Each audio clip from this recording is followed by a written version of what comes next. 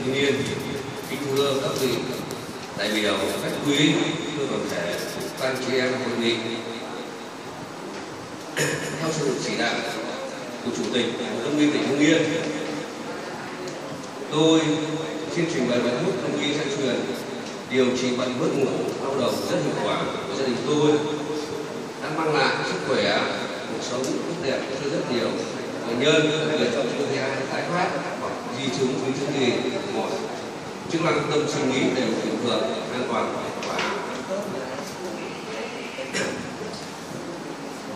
thưa hội nghị sau đây tôi xin trình bày bài thuốc thân miên tôi đã phổ sang thủ hương để thi ca dễ nhớ.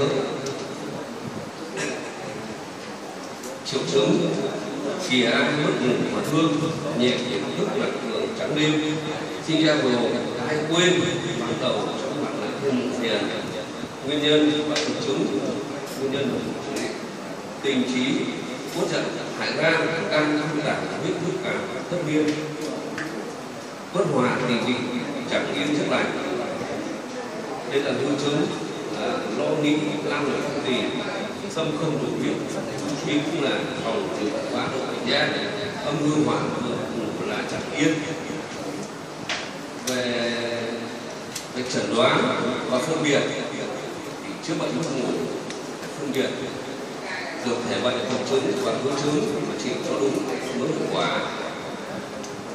Ai nhỏ hội chứng, bệnh mới phát tâm trí bất giận bệnh tại can, dễ cóng giận hay buồn phiền nóng tính nóng đỏ hoặc miệng đang cho tỷ vị bất hòa ở chua khó chịu bụng đầy mạch hòa diêu những nhờ nhảy khó tiêu. Về hư chứng chầu, mạch thì thế sát những màu đỏ con. Cho nên các điều trị, về điều trị thì điều trị bệnh mất ngủ thường phải lấy các an thần làm đầu, bổ tâm, thì thần cho cơ thể đầy đủ khí huyết. Khí huyết lưu thông tâm dương quân tình thì tốt.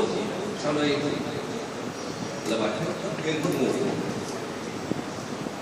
đại táo 10 gram xay khô phụ thần 10 gram xay khô táo nhân 20 gram, sáu trái. Long nhãn 15 gram xay khô đương quy 15 gram sao vàng. Và chuột 15 gram. Tổng với cám sao vàng. Cam thảo 10 gram sao thành. Hiện tượng theo xích kích thảo xuyên khung 10 gram sao khô bóc màu hương 10 gram sao khô và kim chín 10 gram tổng với cam thảo. Một sao vàng về cách dùng thì cho tất cả các thuốc vào đổ ngập một nước nhỏ lửa đến cạn thì đến một bát, cho uống một ngày uống ba lần, mỗi lần một bát ngày một chén. Vậy chú ý về kiêng kỵ và ghi rượu và thích cái y thuật thì trước thì lấy bổ làm đầu. Bình bổ bình đã còn bình an dùng các việc cơ bản để điều trị bệnh mất ngủ. Thì thần môn thông nghĩa an nguyên cảm ơn luôn quan liền rất sai dùng việc chữa bổ sung theo triệu chứng khi mất ngủ tôi đã biết trên ờ, tài liệu.